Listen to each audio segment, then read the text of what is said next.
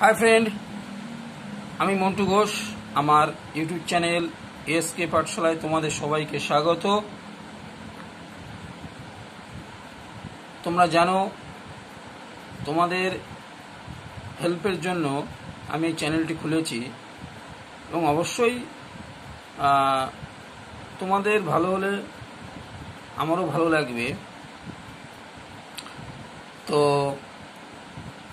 আজকের এই ভিডিওতে ফাইনাল এক্সামিনেশনে মানে এইচএস এক্সামিনেশনে কীভাবে প্রশ্নগুলো আসে এবং প্রশ্নের উত্তরগুলো কীভাবে দিতে হবে সেই সম্পর্কে বলব।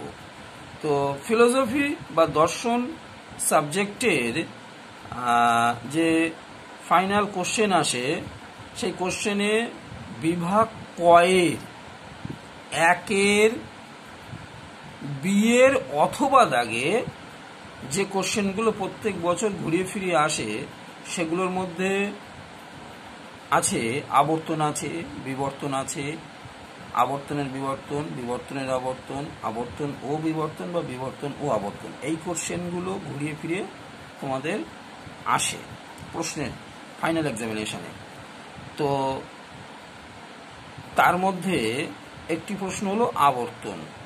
তো ওই যে বিভাগ কয়ের একের, বিয়ের অথবা দাগে যে একটি কোশ্চেন যদি আসে কোশ্চেন যদি এমন হয়, নিম্নোক্ত বাক্যগুলির আবর্তন করো।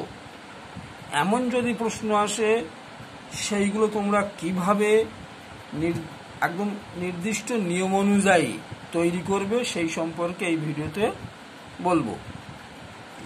আশা করি তোমাদের ভালো লাগবে, এই ভিডিওটি সম্পূর্ণ দেখো। দেখে যদি ভালো লেগে থাকে, তো অবশ্যই লাইক করো শেয়ার করো এবং কমেন্ট করো। এবং যারা আমার ভিডিওতে নতুন, তারা অবশ্যই সাবস্ক্রাইব করবে। এবং পাশে থাকা বেল আইকনটি অন করে অল নোটিফিকেশন অন করবে। তাহলে আমার পরবর্তী ভিডিওগুলো তোমরা সরাসরি পেয়ে যাবে। তো এখানে একটি কোশ্চেন কে নিম্নোক্ত বাক্যগুলির আবর্তন করো? প্রশ্ন যদি এমন আসে, তাহলে কীভাবে তোমরা অ্যান্সার দেবে? সেই সম্পর্কে একটু ফোকাস করি। সৈনিকরা অবশ্যই দেশপ্রেমিক। এটা একটি বাক্য। বাক্যটাকে বচনে রূপান্তর করব। তো এখানে কি বলেছে? অবশ্যই অবশ্যই থাকা মানে বচন হয়। হ্যাঁ?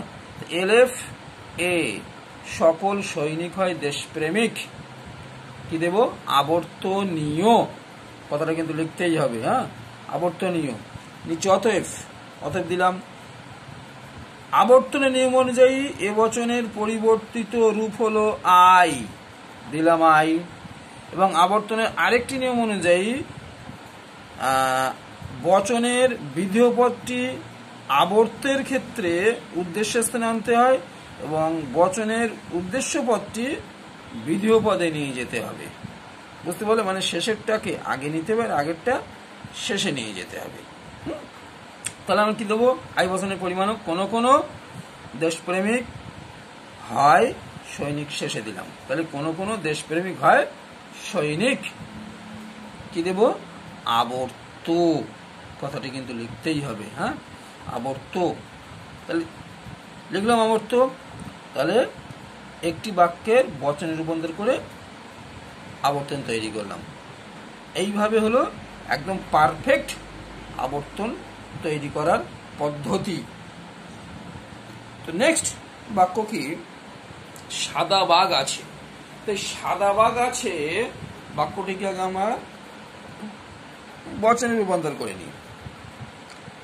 এলএফ আছে থাকা মানে আই হয়। কোনো কোনো বাঘ হয় সাদা প্রাণী। এটা কি দেবো? আবর্তনীয় লিখলাম, অতএব দিলাম, আই বচনের আবর্তনের আবর্তিত রূপ অনুযায়ী বা পরিবর্তিত রূপ অনুযায়ী আই থেকে আইতে যায়। দিয়ে কি দেব? কোনো কোনো, অতএব কিন্তু দিতেই হবে।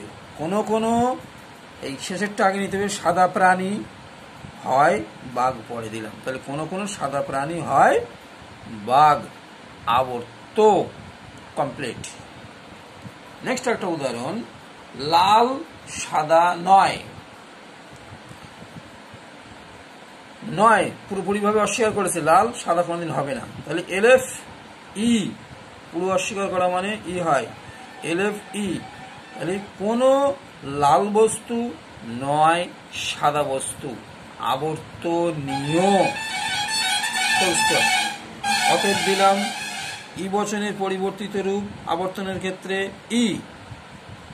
কোনো সাদা বস্তু, কোনো সাদা বস্তু নয়, লাল বস্তু। মানে সাদা বস্তু শেষে ছিল, আগে নিলাম, লাল বস্তু আগে ছিল, পরে দিলাম। তাই তো? কি হলো? কোনো সাদা বস্তু নয়, লাল বস্তু। আবর্ত কমপ্লিট হলো। এবার কি দেবো? নেক্সট একটা উদাহরণ চকচক করে এমন সকল বস্তু সোনা নয়। এই যে বাক্যটিকে প্রথমে আমরা বচনে রূপান্তর করব। এলেপ দিলাম। এটা কোন বচন হবে না ও বচন হবে? সকলের সঙ্গে নয় আছে। সকলের সঙ্গে নয় থাকা মানে ও বচন হয় বচনের নিয়ম অনুযায়ী। আরও একটি কথা, যদি এই বচনের নিয়ম সম্পর্কেও জানতে চাও, তার সম্পর্ক ভিডিও আমি চ্যানেলে এর আগে দিয়ে রেখেছি। এই ভিডিওতে এই ভিডিওর ডেসক্রিপশানে লিঙ্ক দেওয়া আছে, তোমরা সেখান থেকেও দেখে নিতে পারো বা আমার চ্যানেলের হোমে গিয়ে সেখান থেকেও তোমরা দেখে নিতে পারো যে বচনের নিয়মগুলো কীভাবে কীভাবে বচন নিয়ম অনুযায়ী তৈরি করতে হয়। হুম? তো বচনে রূপান্তর করব, সকলের সঙ্গে নয় থাকলে বচন হয়। বচন দিলাম। তাহলে কোনো কোনো চকচকে বস্তু নয় সোনা আবর্তনীয়। দিলাম। এইবার এখানে একটি দেখো। আবর্তন নিয়ম অনুযায়ী ও বচনের পরিবর্তিত রূপ হয় না। হলে কি হয়? না, আবর্তনের চতুর্থ নিয়মটি লঙ্ঘন করে মানে ব্যাপ্য অব্যাপ্য নিয়মটা লঙ্ঘন করবে। হ্যাঁ? সুতরাং আমাদের কি লিখতে হবে? অতএব দিয়ে ও বচনের আবর্তন সম্ভব নয়। কেননা, এখানে আবর্তনের চতুর্থ নিয়মটি লঙ্ঘিত হয়। ঠিক আছে? এই আবর্তনের নিয়মেরও একটি ভিডিও আমি আমার চ্যানেলে তৈরি করে রেখেছি। তোমরা দেখে নিতে পারো। হ্যাঁ? তো, কি লিখলাম? ও বচনের আবর্তন সম্ভব নয়, কেননা এখানে আবর্তনের চতুর্থ নিয়মটি লঙ্ঘিত। এই কথাটা কিন্তু লিখতেই হবে। হ্যাঁ? তো, চারটে বাক্য এরকম তোমাদেরকে দেবে।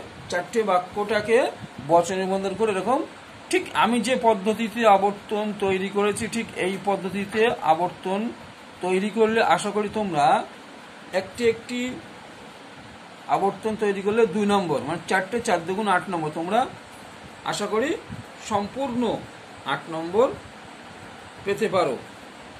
তো আমার ভিডিওটি যদি তোমাদের ভালো লেগে থাকে অবশ্যই লাইক করবে শেয়ার করবে এবং কমেন্ট করবে। আর যারা আমার ভিডিওতে নতুন, তারা অবশ্যই সাবস্ক্রাইব করো। এবং প্লিজ তোমরা তোমাদের বন্ধুদের মধ্যেও আমার চ্যানেল সম্পর্কে শেয়ার করো। তাহলে আমিও একটু উপকৃত হব। Thank you